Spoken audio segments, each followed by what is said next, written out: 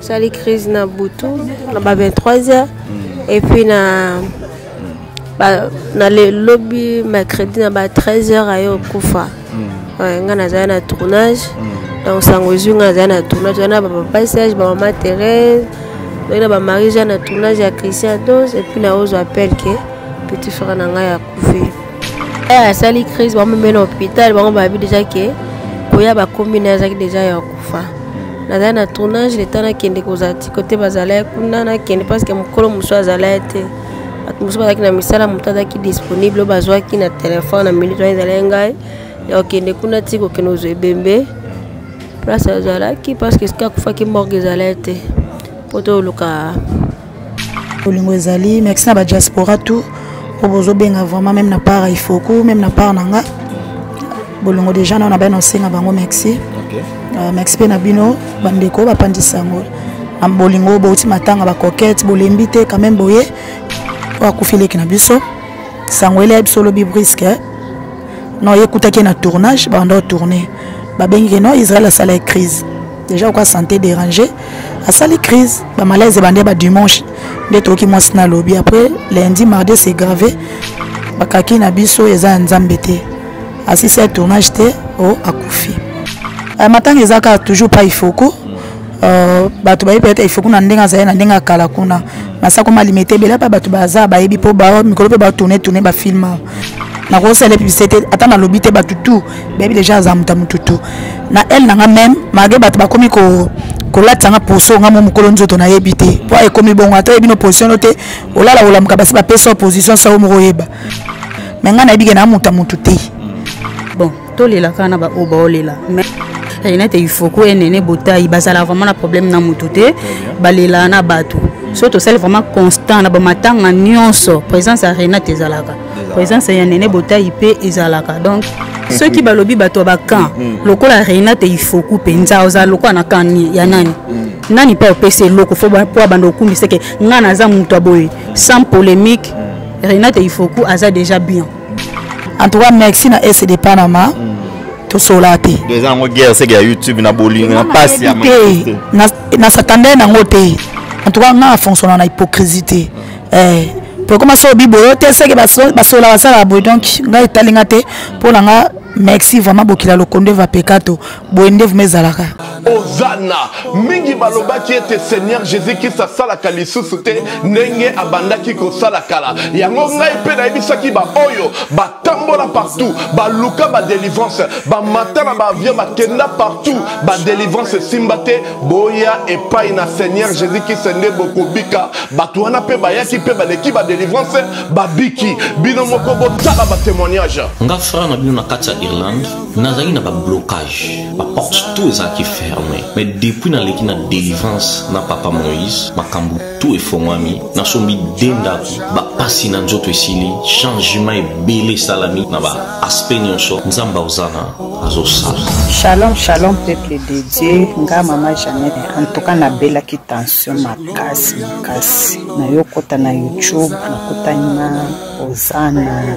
paster moïse abondeli mpo na ya bandeko le meme jour nakei pa docteur na nga atali nga tension nyonso esili bilo nyonso bandasala nga palpitation esili shalom peuple de dieu shalom mama clemence na paris naye kotemanye monene na nzambe oza na oyo asali na bomoi na nga nazali na problème ya mwana mwana bande koloba te na bande kokende na autophoniste te donc badeklaraki mwana comme handicapé aloba te me ntango baye kolakisanga papa moïse papa moïse alekisi mwana délivrance lelo mwana nanga akomi loba naye kotemanye monene na nzambe ya bikamwa oyo asali na bomoi na ngai nazali na problème ya mokanda to reprise nazwaka baregi na raison moko eza ata na sens te lelo nakomi mwasi esengo nazwi mokanda nazwi mpe mosala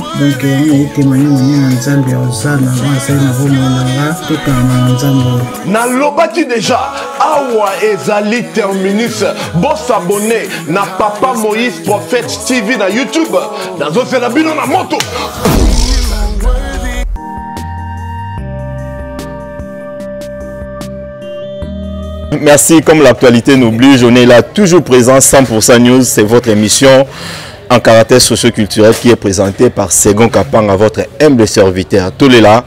naba oyo baza kolela, toza kolela bongo na comédienne na biso Renate Ifoku na eh, chroniqueuse na biso Nene Botai o boyebi. En tout cas toza kolela na nouvelle oyo ya pasi pe mawa ekomelaki bango.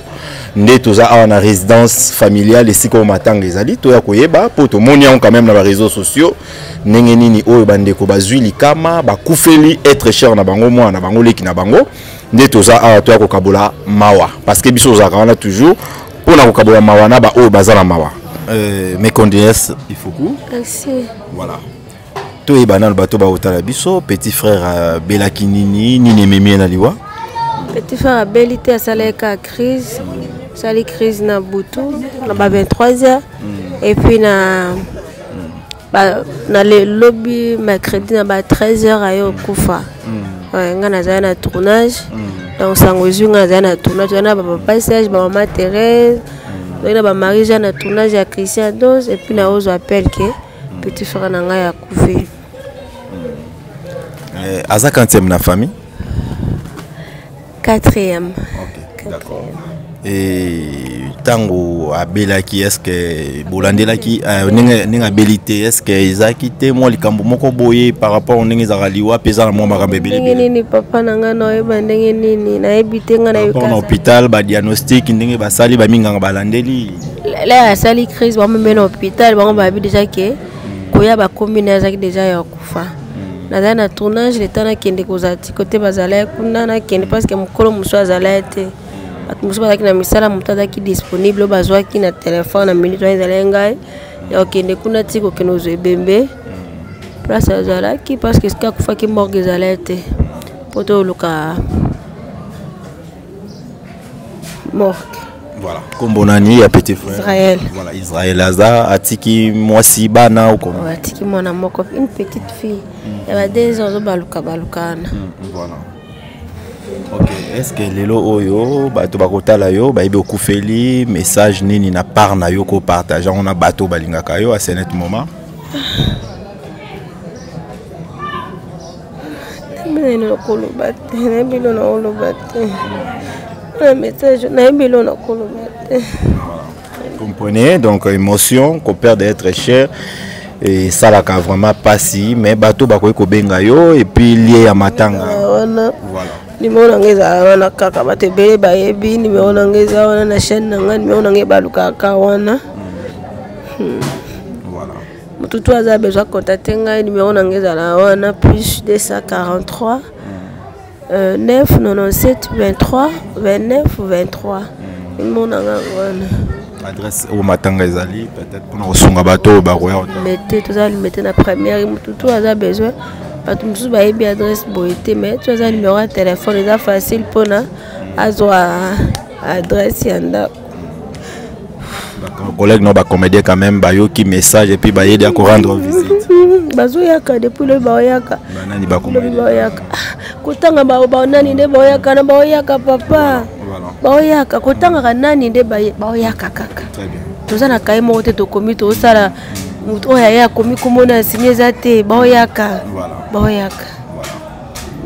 mpona bafani na yo nini message ezali ke matanga ezali tolela baoyo baza kolela donc euh, wana renati foko apesi quand même euh, euh, numéro na ye bobenga ye boconsole tolela baoyo baza kolela bacomédien nyonso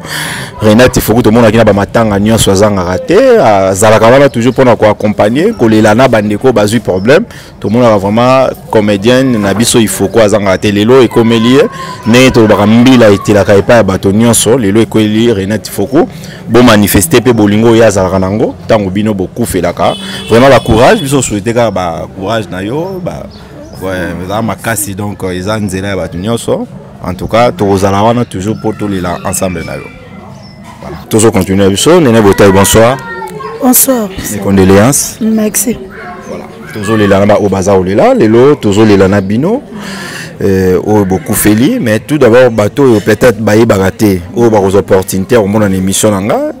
e bamoni yo na renati foku bayebaka te ke boza quand même famille e mwa kopesa yango mwa détail hein, surtout pour ça bayebi chroniqueuse bayebi ifoku kuna comédienne mais baye ko retrouver awa matanga moko bozolela leki na bino ensemble euh, merci merci na bato to bozobenga depuis lobi euh, bolingo vraiment ezali feke ntango kaka baposte bolingo ezali merci na badiaspora tout oyo bozobenga vraiment meme na part ya ifoku meme na part na nga bolingo déjà nao na baye na osenga bango merci okay. Ah, merci mpe na bino bandeko bapandisa yango na bolingo bouti matanga bacoquete bolembi te quand même boye eza facile te eh, donc euh, c'est ça euh, renate ifoko nga na obenge mama leki propre eh? mm. j'espère nasi naloba loba mwa mingi me kanda olobi eza bato mosusu mpe bayoka te bayeba mpe donc euh, eza na koka ba chance nga naloba eza chance mm. occasion c'est trop dire mais eza chance mm. oye peut-être eh, oza na famille moko kote otali star kote otali star mm. nga sikoyo naa na katikati eh, donc euh, nalabe mosusu nalobaka meme etali mama bafilme oko tourne naza ma trop concentré nango te naosalaka baémission tosala mosala mwana bino poso na mama otourne j'espère bomona tourna bafilme au jour au jour heure tout akoti ya bafilme mpo na nga deja eza ngolu eza grâce eza facilité mpo ebele lelo baluka yango donc oyo mama na nga vraiment ya jeune oyo touti mosika toleki na baetape ebele j'espère baoyo bayebi bayebi mwa moke mpe remi kovodo akoyeba mwa bahistoire mpo amona donc euh, c'est ça malgré nde tobaka na mambo yango moto mosusu okobanda okatani mosusu mpa ya bandi avance eh, donc c'est ça donc mama vraiment ya kosude te ya marche longue te donc marche courte eh, sauf ke biso tutu aba cascadeur omonana mpe na nanga trop serre te yosala mosala mpe naosalaka mosala nanga ya famille eza ya famille ya mama mosusu eza mama mosusu donc euh, oyo akufi leki na biso sango ele ya biso olobi briske eh. non ye ekutaki ye na tournage banda otourne babengi ke non israel asala ye crise déjà oka santé dérange asali crise bamalaise ebanda ya badimanche nde toyoki mwasi na lobi après lundi mardi c'est grave bazwi mbongo na chauffeur atindi baavance kaka nde eza toyebi ke motu mwa nzoto eyiningana hmm. bato baza na souple baavance ngai naosala mosala hmm. eh, bakaki na biso eza ya nzambe te asisi ya tournage te o oh, akufi euh, j'espère bato bazali na ye na tournage nde bayaki kotika ye bazalaki na ye wana donc eh, nde bapele mpe etamboli wana nde tobaluki baluki wana tokutani ti tokomorga mabanga somoni eloko na yo eza yo ozwa na tante ozwa so batelefone ofilmaka nyonso twana toyei kaka concentré mm. donc euh, na lelo mpe nde tolamuka ntongo toke esuku ambome toambome eza morga mabanga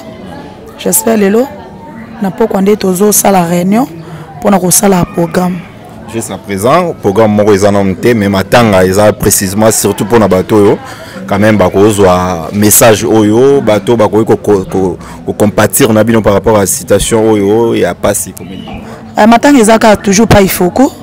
euh, bato bayebi ete ifoko na ndenge azali na ndenge ya kala kuna masako malimete ebele mpe bato baza bayebi mpo mikolo mpe batourne tourne bafilma toza limete na première donc en fait soki oza en victoire ata ozwi baramoto ata towuti na ndenge balime te okitika na jiji ozwi dira soki ota bo marché wana ozwi kaka moto bakiti yo na buka palace soki okomi kaka na buka palace wana deja soki otuni matanga balakisa yo toza na wana donc c'est ça voilà message eza ke toza na mpasi toza kolela na bino elongo bato oyo baotala biso bacomprendre ke matanga eza parce que bamonaki yango deya na bareseau sociaux Euh, lelo oyo mopanzi sango ozwaka mpe temps quand même ya kolobela matanga ya bato ya kosala quand même kolakisa bolingo parce que yo mbingi omartelaka sur bolingo soki moninga aza na problème il faut koassiste il faut il faut il faut il faut mpe tomonaka ye quand même na bamatanga ebele azangaka te nayebi ke moment oyo mpo babi matanga mpe basala yango publicité te bainvitaka mpe motu te eza esika mawa e mbila etelelaki mpa bato nyonso oyo amoni aza na motema ya bolingo akolanda moninga mpo moninga ya malamu bayebaki na ntango ya mpasi mais message na part na yo particulier okopartage na bato oyo bayebi ke boza na mpasi oyo quand même bakoki kokota contact mosusu misu mpe bazwaka ntango solola bino te matala koka na mosika mais eza likambo ya mpasi na part no mwa maloba okoki koloba eza nini oh, saka olobeli mo eza très important matanga bainvitaka motu te posela tomona ezali na motu mo basolaka te balobalaka te mais soki kaka sego azwi problème comme eza elo mo parce que liwa eza eloka mpasi eh, eza eloka mpasi surtout bajaka baliwa ya boye oyo bobeti batour ya bakitunga biloko olia na hôpital te oyo bonyokwami te edo eza mpasi eza facile te ata nso okuti biso tosola boye mpo vike bapassage bayaki badali bapassage moni baa bato akompeke mpasi bato baa na mawa fo totyaka mwa koseka mpo tobongisa bango lumière donc euh, yo moma bamoral yango eza un peu mwa bien par rapport à lobi matanga bainvita motu te bino boya toinvite bino te naoco répété boye na batransport na bino totinde bino te eza te mpo bozwaka bavie déjà eza mpe eya bolingo eh, donc euh, matanga epanzani na monde na mese google motu to amoni te mpo soki yakoloba esu eza na susu te sadi toolela na baoyo toolela obengi tokoyamba kaka oye tozali oye mpe te problème eza te mbila etelaka na, na comment ça na babadage yango nini mbila etela pa motu nyonso eh, soki lelo eteli pa na nga oye te tozala na problème te na otya mpe kanda te hmm. eh, na ndenge nayoka mpasi soki anga nde nakufe mpo lobi yo mpo kozwa ndeti nga lobi yana to yo kozwa kokasa te ke naloba te nzambe mo ayebi nga na ya te te nga mpe kaka na koya na nga te hmm. eh, nga fonctionnaka bongo eh. Numéro na yo mpe ya contact mpo na bato oyo kozwa mpe moyen ya kobengana par na nzela na yo mpo ke bazwa baprogramme nyonso ba ah, numéro eza 099 83 66 277 place mboka nyonso moto akutani misi nango lingala 099 83 66 277 so okomplike ye okoyeleka na chaîne na ngai na nene bota officiel numéro eza nango wana na se eh, ka numéro na ngai na ezaka yango na pe na bureau te kanga mom na yambaka donc c'est ça voilà pour l'instant peut-être ko condamner te toko juger na bato te mais félicitations quand même na moni b'artiste na moni Darling Palata papa Serge Mwembo donc ba uti matanga ya coquette mais ba ye en tout cas c'est que b'artiste ya mususu bazo benga ba comédien pe belé bazo benga ba pandisango pe po belé pe bandalo bi pe mususu ba benga nga Eh, donc euh, mpo na kokɔta na badetail ya bakombo te ka nde totoloba tokojuge te enfin ke eloko esalami esango eh, yaki lobi lelo donc euh, toza nano mais surtout pour éviter mpe toyebi ke ifoku na yo mpe boya bato baclan te toyebi yo toza oyo ya moto boye ifoku toyebi te parce que ekoma soki oza ya clan boye matanga wana bakolanda te ekomi bongo peti matanga wana soki olandaka bato bakolanda yo soki oza ya moto tel seke mutu wana mosusu kuna olando te mpo yo okolaboraka na mutu tel eza bongo te na part na bino quand même euh, même na part na ye mm. euh, ye aza chroniqueuse te amuta tourna beaucoup plus mm. aza na muta bajar wana te boyebi ye nakosala publicité te ata nalobi te bato tu bayebi deja aza muta mutu tu na ele na nga meme malgre bato bakomi ko kolatisa nga poso nga mo mokolo nzoto nayebi te mpo ekomi bongo ata oyebi no position no te olala olamuka basi bapesa position sao moko oyeba me ngai nayebi ke naa moto ya motu te eh, naa nene botai naa na osamsa na ngai naa mopandi sango eh, naza leki ya bayaya tu c'est-à-dire na leki ya peshanga mobutu na leki ya belvi kandela patrona na leki ya sila bisalu mams pomba sen eh, leki ya gabriel chanle aigle leki ya bijou la reine leki ya mama top donc leki ya bayaya bavia aussi donc baoyo tu balinga bayaya wana bafanatique bato tu nayebi ke baolela na biso elongo y compris na bango baza awa matanga eza eh, donc euh, ndeti nga kutu na baterrain je suis wana te nga na je suis motu te hmm. eh. merci nayebi tokobakisa ya suka eza te non merci na bino ngai mana osenga bino ka merci mpo bolembi te bouti matanga coquette hmm. boye eza facile te donc euh, merci vraiment merci beaucoup Nene Botayi tolela oyo baza kolela Pamela mpe aza mopanzi awa Pamela bonsoir bonsoir mes condoléances merci pa voilà message eza nini mpe na part na yo toza kolela toujours matanga attitude ya matanga mais mwa maloba ekoki kozanga te surtout na bato baotala biso etake concert tosalaka mosala moko oyo toyei kaka kolakisa bolingo na biso tozalaka nango nde tolobaka tokabola mawa epuis tokabola esengo ntango toza tozokabola mawa oui c'est vraiment triste eh, eh, renate ifoku na nene botai tokóma bandeko donc toza lisusu bakamarade te tokóma bandeko mpasi na bango eza mpe mpasi na ngai donc nene botai kutu nde asala ye mabe fala abenga nga depuis lobe yo obenga nga soki ba 21 heure boye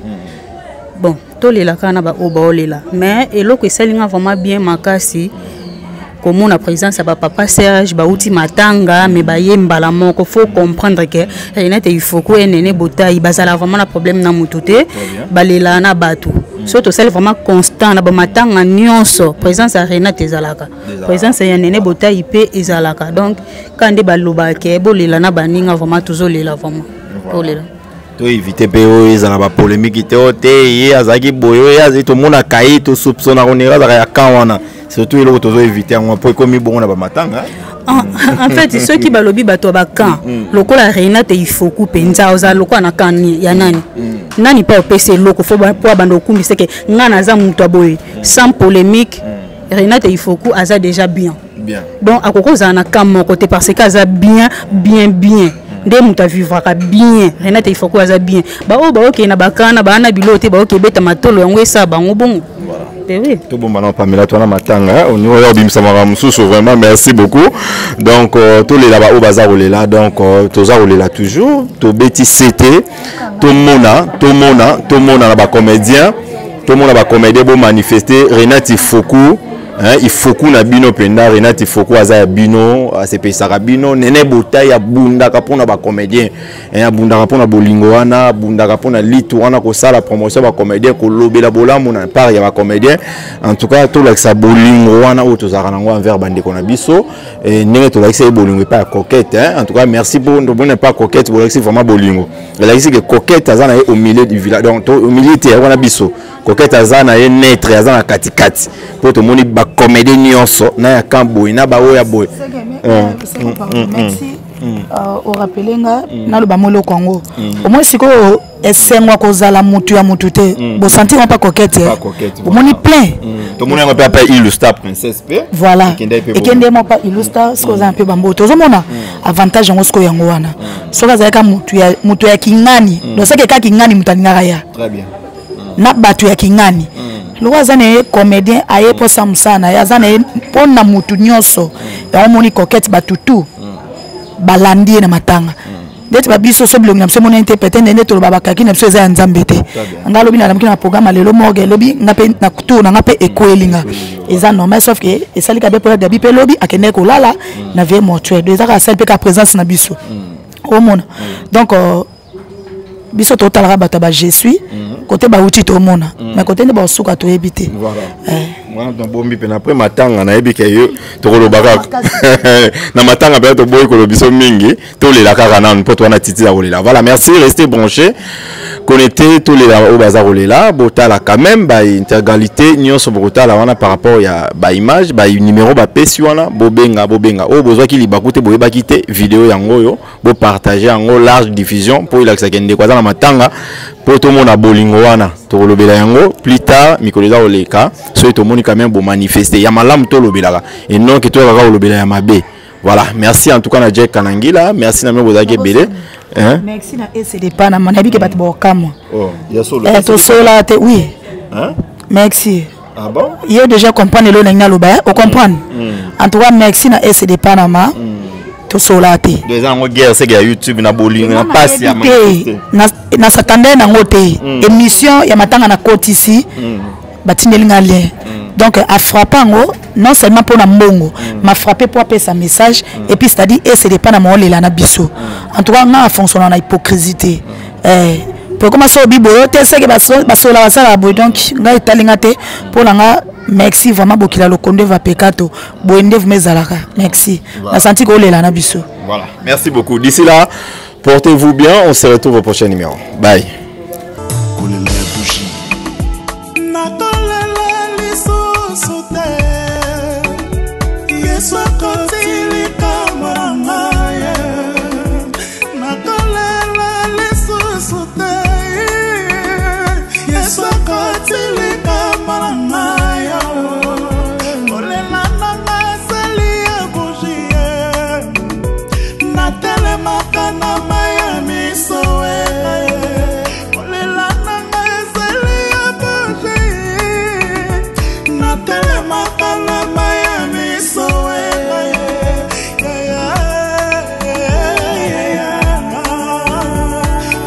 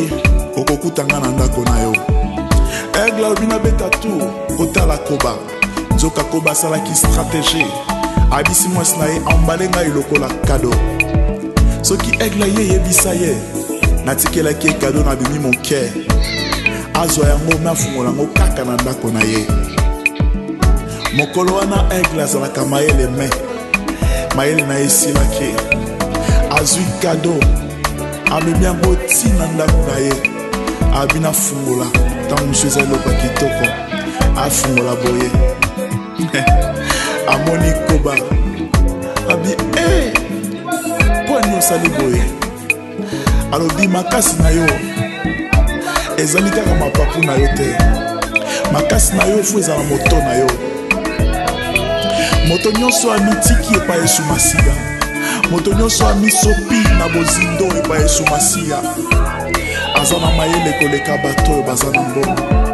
aza na mayele koleka bato oyo basilisa baklasse aza na mayele koleka bato oyo baza na bozwi nyonso ya se haleluya bapesani motema ya ndako ya aigle likolo na ngomba e eh. nakabeli yo bolenga nanga